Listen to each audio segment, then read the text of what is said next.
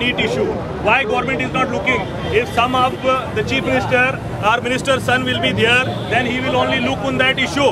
Second issue is that High Court has issued a guideline. What is the medical fees, uh, medical fees for all the medical colleges? But the government, in with the lobby with medical colleges, has actually own fees in every college. So NSU opposes. Third is that now they have given Ambani, which has thousand crore of rupees, Jio Institute, and the institute is the given the title the institute of eminence sabse badhiya hai there is no vc there is no land there is nothing because Adani ambani uh, modi Amit Shah, our friends, they take thousand crore rupees in the election, so they have given them. There is no VC, no teacher. That their university is the best. Why not IIT Madras? Why not other institutes of this country. Why not any other private institute? Fourth one is that Modi told that we will give 2 crore employment every year. Where are that 8 crore employment? If there has been employment, we all will not have been here. Fourth is that higher education budget has been cut down from 8,000 crore to 3,000 crore. Where that money, why that money has been cut down? If they are giving 100 crore to other universities, why not the higher education? STSC scholarship has been cut down from 6,000 crore to 3,000 crore. NSUI will protest and will again protest in every district of Tamil Nadu. This was a symbolic protest. I thank all of the media and please because this issue is of the issue of the students of this country, students of this Tamil Nadu. NSUI will start and will fight until this issue, the Modi and the Amit Shah will take it back and will say sorry to the students of this country. We will again fight and 8 August we have a parliament get out. We will going to the parliament of Modi and Amritsar. Shah. And we will... கொடுத்திடு கொடுத்திடு கொடுத்திடு ஊக்கத்தொகையை கொடுத்திடு கொடுத்திடு கொடுத்திடு ஊக்கத்தொகையை கொடுத்திடு பறிக்காதே பறிக்காதே மாணவ சுதந்திரத்தை பறிக்காதே So today we are with uh, Mr. Feroz Khan, so who is the national president for uh, National Students Union of India. So we have some questions to ask him. So let's go on. So hello sir. So I just wanted to ask, what is your take on UGC's abolition? the government want to control the university. Like JNU, they don't have anyone. If Delhi University, they don't, what they will do, they will cut down their uh, uh, fees. They will cut down uh, the grant. And this is actually a step towards the privatization and commercialization of education and suppressing the autonomy of the university and the students. So uh, we are opposing it. We have already requested all the Congress MPs. They have written to Javadekar and the date has been extended. And uh, we are fighting it at a national level and we are telling them you can't actually commercialize the education and make it a personal uh, tool to harass, uh, to suppress uh, the university teachers, university administration and students. So uh, recently, um, I mean, 2019 Lok Sabha elections is on, and um I mean, uh, your rival ABB, ABB, uh, ABVP is uh, actually is working towards their ideology for Hindu Rashtra.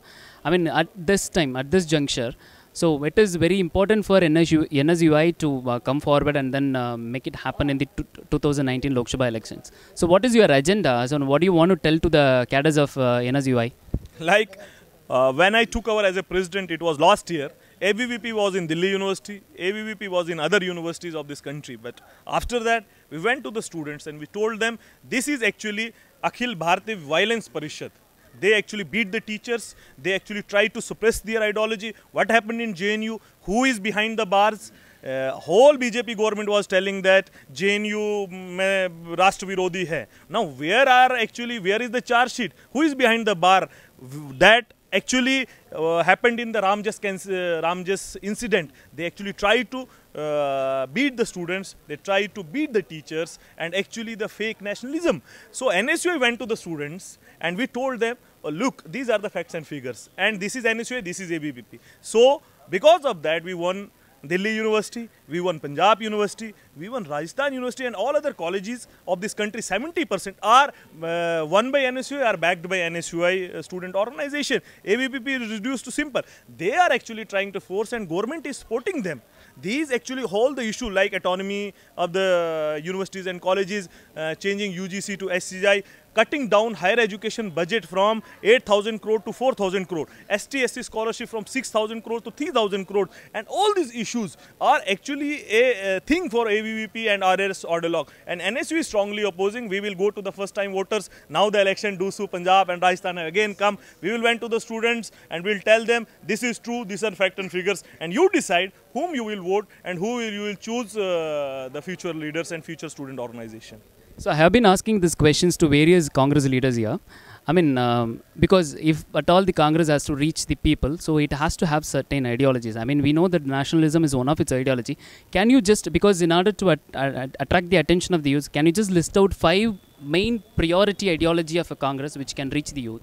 uh, I think uh, Congress is not a party. You know, BJP is a party. You know, Congress is actually India and India is Congress. You know, if it would have been other party, then there would have been a single party system. We let every uh, party in this country to survive every ideology in this country to thrive, every religion in this country to survive, to have their. We actually believed on the pluralism of this country, secularism of this country. We have the constitution that is above all.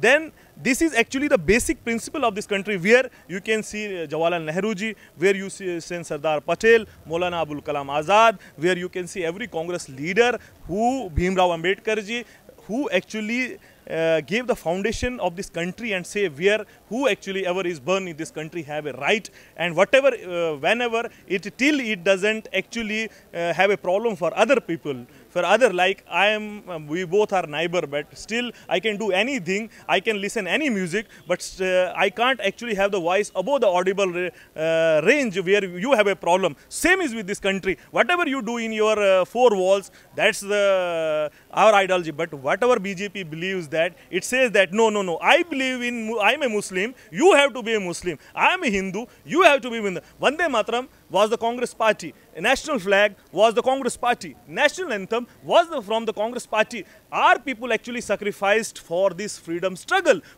Name any single RSS person or BJP who actually sacrificed this country. So this country was actually made by the Congress party. So Congress party is India and India is Congress party. Whatever you see, every state every religion, every caste, everything is the Congress party. Now they are trying to suppress this. And if you actually have a problem in the base of the building, the building will actually come down and they what they are doing mob lynching, they are actually changing the saffronization of education, they are suppressing the student-wise autonomy of college, they are changing everything, they are changing the history and they are the leaders which actually believe in some uh, you know friction and some imagination. They don't believe in the reality. Congress party is actually India and India is Congress party.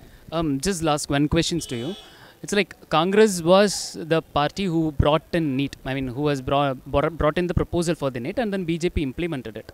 And in Tamil Nadu, we are completely strongly against NEET and every other political party.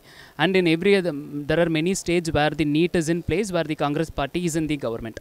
As a whole ideology, what do you think about NEET and whether it is need for this country and whether it is uh, to be there and then it has to be scrapped when 2019 election, Lok Sabha election is uh, when the Congress win? You know, uh, there were many times when demonetization rule was put forward behind the Congress government. It was not uh, the, there was many times GST formation was by the Congress. Same was the need. It was, you know, a law is for the people. A country democracy is for the people, by the people, of the people. If it 100 people died of demonetization, how, what you can do with that law? You know, same is with the NEET issue. If it is creating students problem for the, because it was the law for the student to create transparency, there are hundred other ways where you can rectify it, where you can have a beautiful law. If you think law is uh, bad and it is actually hurting the students, uh, it is destroying the future and uh, the students are, society, you just take it back. You just uh, have to, but the government doesn't understand the need you know the you know every policy was actually uh, framed by the congress policy and it was in the transition but what they did They just applied it in hurry and whole whole push like demonetization, like GST, like everything. Whatever they like, okay, this is the Congress some magic and this. But you believe that you have economists there like Manmohan Singh, you have a Chidambaram ji, we are there, we are intellectual cream. You have Shashi Tharoor and thousands of leaders who have put their mind and with actually consultation with hundred of stakeholders from the country, and then a law is made. That's how from 1947 till date, Congress government has run this country. But you in, in four years, what they promised It's like a bullet train which is actually in the air. Now Jio Institute will be formed after seven years. This is something like in the imagination, and they are saying no, no, no, no, no. Now give us more five years, and we will make it after 10 years. So these all are the fake promise. They don't know how to run this country. They are actually here for destroying our country, and Congress party strongly opposes that. And we will actually rectify all their mistakes, and we will put this country once again on the track of development and uh, the country which is actually for the citizen of the uh, uh, people and students of this country.